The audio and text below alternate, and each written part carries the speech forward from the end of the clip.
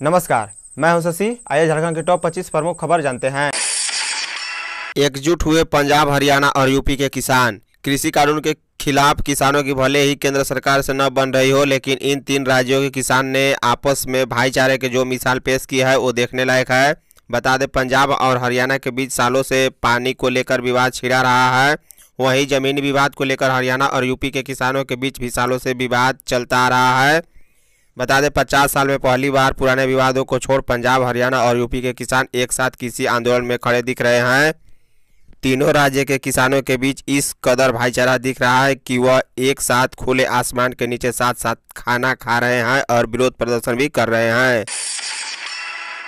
किसान औने पौने भाव में धान बेचने को मजबूर झारखंड में धान खरीद शुरू हुए 20 दिन बीत चुके हैं, लेकिन सूच चाल के कारण अभी तक नाम मात्र की ही धान खरीद हो सकी है। बता दें, हालात यह है कि एक गिरिडीह ज़िले को छोड़ कर तेईस जिलों में धान खरीद का आंकड़ा लगभग शून्य है।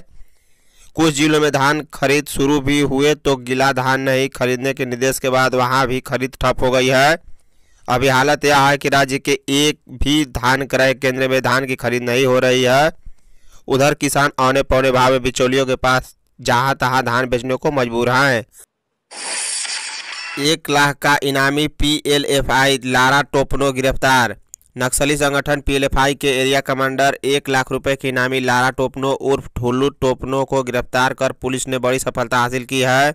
बता दें, लारा टोपनो को खोटी पुलिस व गुमला पुलिस ने संयुक्त रूप से अभियान चलाकर गुमला ज़िले के कामडारा थाना क्षेत्र से गिरफ़्तार किया है। यह जानकारी खोटी पुलिस अधीक्षक आशुतोष शेखर ने रविवार को दी है। भारत बंद से पहले निकाली विरोध रैली। वाम दलों द्वारा 8 दिसंबर को भारत बंद का आह्वान किया गया है। इसके पहले भाकपा माले के सदस्यों ने रविवार को रांची यूनिवर्सिटी से अलवट एक्का चौक तक कृषि कानून वापस लेने की मांग को लेकर प्रदर्शन किया। रैली में बड़ी संख्या में वाम दल के कार्यकर्ता शामिल हुए। रांची में गेल के सहयोग से ठोस कचरा का प्रबंधन करेगा निगम। मुख्यमंत्री करेंगे शुरुआत। बेहद चुनौतीपूर्ण हालात में रांची नगर निगम की कमान संभालने वाले नगर आयुक्त मुकेश कुमार ने दावा किया है कि शहरवासियों से मिल रहे सहयोग की बदौलत नगर निगम प्रशासन, नगर विकास विभाग, मेयर, डिप्टी मेयर व वार्ड परिषद के साथ मिलकर राजधानी रांची की तस्वीर बदलेंगे। उन्होंने बताया कि रांची में ठोस कचरा प्रबंधन के लिए झारखंड नगर विकास विभाग गेल के साथ मिलकर निगमित सामाजिक दायित्व के तहत कार्य करेगा, जिसकी शुरुआत मुख्यमंत्री इसी माह के अंत तक कर सकते हैं। पान मसाला तंबाकू की बिक्री पर सीसीटीवी से निगरानी, झारखंड हाई कोर्ट के दूसरी बार फटकार के बाद रांची में प्रतिबंधित पान मसाला एवं तंबाकू के उपयोग पर शिकंजा कसने के लिए जिला प्रशासन ने नई रणनीति पर काम शुरू कर दिया है। इसके लिए प्रशासन की तरफ़ से ज़िले में बृहद पैमाने पर छापेमारी दस्ते का गठन किया जाएगा।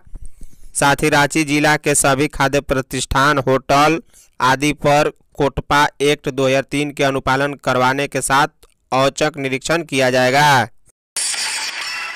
मौसम विभाग द्वारा जारी पूर्वानुमान में बताया गया है कि रांची में अगले पाँच दिनों तक मौसम शुष्क बना रहेगा, मगर सुबह शाम में कनकनी बढ़ने की संभावना है।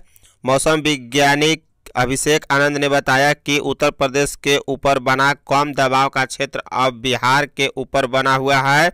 वहीं पश्चिमी विक्षोभ की वजह से 7 दिसंबर से राज्य में फिर से ठंड बढ़ने की संभावना है। पाँच हज़ार सरकारी स्कूल को फाइव स्टार की श्रेणी दिलाएगी सरकार। झारखंड के पाँच हज़ार सरकारी स्कूलों को स्वच्छता के मामले में अगले साल फाइव स्टार का दर्जा दिलाने की राज्य सरकार तैयारी कर रही है। वहीं सात हज़ार स्कूलों को फोर स्टार का दर्जा दिलाया जाएगा। इसके लिए स्कूली शिक्षा और साक्षरता विभाग स्कूलों को संसाधन उपलब्ध कराएगी, जिससे वे इस लक्ष्य को प्राप्त कर सके। बता दें, इस साल फाइव स्टार स्कूलों के लिए 918 और फोर स्टार के लिए छप्पन स्कूलों ने आवेदन किया था। झारखंड में बानवे नए संक्रमितों की पुष्टि हुई है, जो रांची से सैंतीस, बोकारो से छः देवघर सात, धनबाद पाँच, दुमका एक, पूर्वी सिंहभूम दस, गढ़वा दो, गुमला दो, हजारीबाग तीन, खूंटी तीन, लातेहार एक, पलामू एक, सरायकेला आठ, पश्चिमी सिंहभूम छः मिले हैं। झारखंड में कुल संक्रमितों की संख्या एक लाख दस हज़ार दो सौ अठहत्तर है, जबकि एक लाख सात हज़ार चार सौ छियानवे लोग स्वस्थ हुए और नौ सौ छियासी की मृत्यु हो गई। भारत में कुल संक्रमितों की संख्या छियानवे लाख छिहत्तर हज़ार आठ सौ एक है, जबकि इक्यानवे लाख अड़तीस हज़ार एक सौ इकहत्तर लोग स्वस्थ हुए और एक लाख चालीस हज़ार पाँच सौ नब्बे की मृत्यु हो गई। भारत में नए केस बत्तीस हज़ार दो सौ बहत्तर मिले हैं, वहीं भारत में एक्टिव केस तीन लाख पंचानवे हज़ार छः सौ उनासी है। बता दें, झारखंड में एक्टिव केस सत्रह सौ छियानवे है। झारखंड में एक्टिव केस इस प्रकार हैं। रांची 750 पूर्वी सिंहभूम दो सौ अड़सठ, धनबाद अठासी, बोकारो बहत्तर हजारीबाग बासठ सरायकेला उनसठ, रामगढ़ तैंतालीस, गुमला इकतालीस, देवघर चालीस, लोहरदगा अड़तीस, साहेबगंज सैंतीस, पलामू छत्तीस खुट्टी पैंतीस, चतरा इकतीस, चाईबासा इकतीस, दुमका उनतीस, सिमडेगा अट्ठाईस, गढ़वा चौबीस, मरीज़ एक्टिव हैं। सरना विकास समिति ने अलग धर्म कोड समर्थकों से पूछे छह सवाल। आदिवासी जनजातियों के लिए अलग सरना आदिवासी धर्म कोड की मांग करने वाले संगठनों समर्थकों से छह सवाल पूछे गए हैं। ये सवाल झारखंड आदिवासी सरना विकास समिति धुरवा के अध्यक्ष मेधा उरांव ने पूछा है। उन्होंने पहला सवाल पूछा कि संविधान के अनुच्छेद 25 के तहत सरना आदिवासी धर्म कोड मिल जाता है तो आदिवासी बहुसंख्यक कहलाएँगे या फिर अल्पसंख्यक? दूसरा सवाल, पूछा कि सरना आदिवासी धर्म कोड आदिवासी जनजातियों की मांग है या फिर मिशनरियों की? वहीं तीसरे सवाल, पूछा कि यदि मिशनरी इतने शुभ चिंतक हैं तो क्यों नहीं धर्म परिवर्तन लोगों के आरक्षण और सुविधा बंद कराने की बात कहते हैं? वही चौथे सवाल की चर्चा, मिशनरी सरना आदिवासियों को धर्म कोड दिलाने के लिए क्यों परेशान है? और छठा सवाल, पूछा है कि सरना धर्म हितैषी है तो माननीय उच्चतम न्यायालय केरल बनाम चंद्रमोहन 2004 में दिए गए फैसले को लागू करवाया जाए। एसीएस का भारत बंद को समर्थन। आदिवासी छात्र संघ की बैठक रविवार को केंद्रीय कार्यालय डिप्टी पाड़ा में हुई। इसकी अध्यक्षता केंद्रीय अध्यक्ष सुशील उरांव ने की। इसमें किसान आंदोलन को लेकर चर्चा की गई। निर्णय लिया गया कि आदिवासी छात्र संघ किसानों की ओर से घोषित 8 दिसंबर को भारत बंद का पूर्ण समर्थन करेगा। लातेहार में पुलिस और नक्सलियों में मुठभेड़। लातेहार जिला के बालूमाथ थाना क्षेत्र अंतर्गत जाबाबार गाँव के पास बरवा थान करमाडी जंगल में पुलिस और भाकपा माओवादियों के बीच जमकर मुठभेड़ हुई। घटना रविवार दोपहर की है। बता दें, दोनों तरफ़ से एक घंटे तक जमकर गोलीबारी हुई। मुठभेड़ में पुलिस को भारी पड़ता देख नक्सली जंगल और नालों का लाभ उठा भाग निकले। एनजीटी ने 250 पत्थर उद्योगों पर लगाया 650 करोड़ का जुर्माना। एनजीटी ने पर्यावरणीय नियमों के उल्लंघन के आरोप में पाकुड़ ज़िले के 250 पत्थर उद्योगपतियों के खिलाफ 650 करोड़ रुपए का जुर्माना लगाया है। एनजीटी के इस कार्रवाई से पत्थर उद्योगों में हड़कम मच गया है। बता दें, जुर्माना, राशि की वसूली को लेकर खनन विभाग द्वारा कार्रवाई भी शुरू कर दी गई है। सरकार के एक वर्ष पूरे होने पर श्वेत पत्र जारी करेगी कांग्रेस। राज्य सरकार के एक वर्ष पूरे होने पर 29 दिसंबर को कांग्रेस श्वेत पत्र को जारी करेगी। इसमें राज्य सरकार और कांग्रेस संगठन की उपलब्धियों का ज़िक्र किया जाएगा। बता दें, कोरोना महामारी के दौर में जब पूरा विश्व त्राहिमाम कर रहा है, तब केंद्र सरकार झारखंड के हिस्से की राशि देने में आनाकारी कर रही है। उक्त बातें प्रदेश कांग्रेस प्रवक्ता आलोक कुमार दुबे ने कही।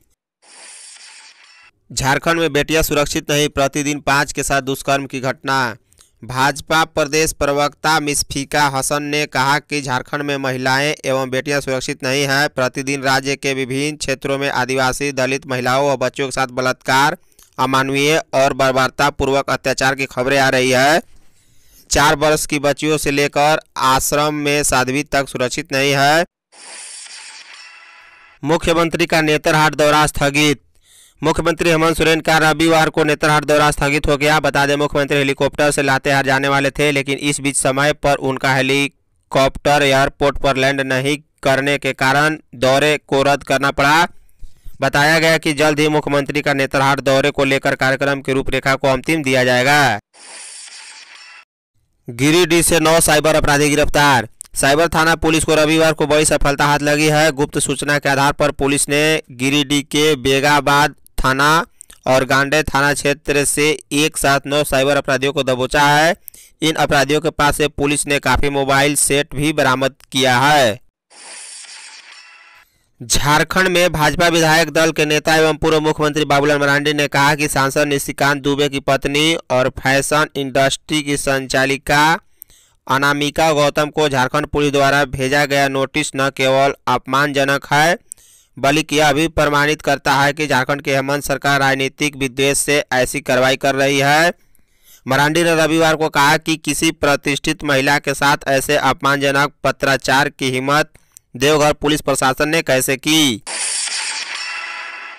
तीन ट्रक सहित नब्बे गाय बछड़े जब्त। झारखंड में गौवध निषेध अधिनियम लागू होने के बावजूद मवेशी की तस्करी जारी है। इसे रोकने के लिए पुलिस लगातार प्रयास कर रही है। इसी क्रम में एसएसपी सुरेंद्र झा के निर्देश पर रांची ज़िले में गौ तस्करों के खिलाफ बड़ी कार्रवाई की गई है। बता दें, एसएसपी को मिली गुप्त सूचना के आधार पर बुड्डू एसडीपीओ अजय कुमार ने कार्रवाई करते हुए शनिवार देर रात टोल प्लाजा के पास नब्बे मवेशी को ले जा रहे तीन ट्रकों को पकड़ा है। मछली पकड़ने गया मछुआरा मसानजोर डैम में डूबा। दुमका जिला के मसानजोर थाना क्षेत्र में शनिवार की देर शाम मछली मारने के लिए गए डामरी गाँव के पैंसठ वर्षीय मछुआरा चांदो बास्की की मसानजोर डैम में डूब गया। खबर मिलने पर पुलिस ने रात में ही उसे तलाशने का प्रयास किया, लेकिन सफलता नहीं मिल सकी। बता दें, रविवार की सुबह से गोताखोर की टीम ने उसकी तलाश में लगी है। आवश्यक सूचना जैसे कि आपको बताया गया है, ठंड को देखते हुए कंबल वितरण किया जाएगा, जिसमें आपका सहयोग राशि शामिल होगा। आप लोगों में से कल मात्र 20 से 25 लोगों ने सहयोग राशि भेजा है, जिसमें अधिकतम सौ रुपये की राशि बैद्यनाथ कुमार जी ने भेजे हैं। तो आपसे अनुरोध होगा, आप इस सहयोग में बढ़ चढ़ कर हिस्सा ले, तभी गरीबों के बीच कंबल वितरण हो सकेगा। धन्यवाद। आप सहयोग राशि के लिए गूगल पे या फ़ोन पे नंबर जो आपको स्क्रीन पर दिख रहा है, उस पर शेयर कर सकते हैं। Thank you.